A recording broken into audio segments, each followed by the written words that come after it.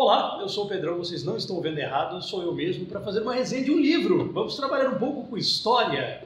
Estávamos falando dos trabalhos e os dias de Exildo, o poeta Exildo, que sempre viveu à sombra de Homero. Vocês conhecem Homero, da Ilíada, da Odisseia, obviamente.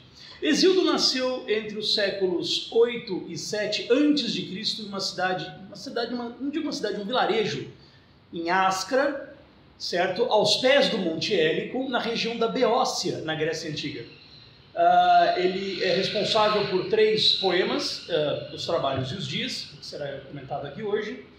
Uh, Teogonia, Theos, de deuses, Gonia, nascimento dos deuses, e o escudo de Heracles. Há controvérsias. Existem pessoas que dizem que o escudo de Heracles é dele, existem pessoas, digo historiadores, outros historiadores e pesquisadores que dizem que não é dele, bem como historiadores e pesquisadores que dizem que apenas até o verso 56 seria de Exildo, o resto foi adaptado por alguém que não se, não se sabe quem é. Bom, basicamente, esse aqui é um poema que foi escrito em 825, 825, 800, 825 versos, hexâmetros, tá? Uh, e Exildo conta para nós, ele dá para nós uma lição de moral a respeito dos trabalhos e os dias. O que, que acontece? Perses é o irmão mais velho, aquele irmão cruel de Exildo, uh, e ele praticamente tenta roubar o próprio irmão. O que acontece é que o pai de ambos morre e Perses tem um plano brilhante. Ele quer ficar com dois terços da herança uh, deixada pelo próprio pai. Então ele conhece um juiz, que no caso seria um advogado na Grécia Antiga, que vai, uh, digo, ele conhece um juiz, que nada mais é do que um advogado que faz essa separação de bens, etc e tal, e meio que já deixa tudo preparado. O próximo passo de Perses é convencer, é convencer o Exildo, seu irmão mais novo, de que ele precisa do dinheiro mais do que o próprio, do que o próprio, do que o próprio Exildo. Uh, e durante o caminho, uh, Exildo, como é um homem sábio, começa a falar para o irmão: Mas por que, que você está fazendo isso? O que, que você vai ganhar fazendo isso? Olha que coisa linda! Veja só, aquelas pessoas estão plantando. Em três meses aquilo vai começar, vai, dar, vai, vai, vai germinar, entendeu? Em outras palavras, vão nascer plantas dali, vão nascer hortaliças para que eles possam se alimentar. Você realmente precisa me roubar?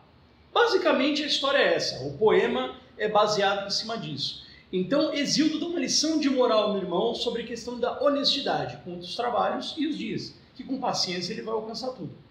Existem historiadores e pesquisadores que trabalham uh, esse poema e cravam que Exildo, na realidade, conta essa história depois que ele foi ludibriado, depois que ele foi roubado pelo irmão. Outros historiadores e pesquisadores também falam sobre uh, a possibilidade de que Exildo estaria indo com Perses até o juiz quando ele começa a ter essa reflexão, refletir para o irmão dele o, o valor do trabalho. E existe uma terceira variante dessa, dessa mesma pesquisa que conta que, na realidade, depois de feito o, a separação dos bens, em que Perses realmente ficou com dois terços e Exildo um terço, uh, Perses torrou tudo. Né? E aí ele vai falar com o irmão dele, e o irmão dele ensina, é, dá essa lição de moral a ele. A ideia é bacana, é bonita. Eu vou. Tem esse livro aqui especialmente é um livro da editora Odisseus, tá? que é uma, é, faz parte de uma, de uma ONG uh, ah, de estudos gregos clássicos, gregos helenísticos, certo? E eles lançaram em um conjunto. Esse aqui é o sétimo livro, eles lançaram uma série, esse aqui é o sétimo livro dos Trabalhos e os Dias, capa dura, bonito.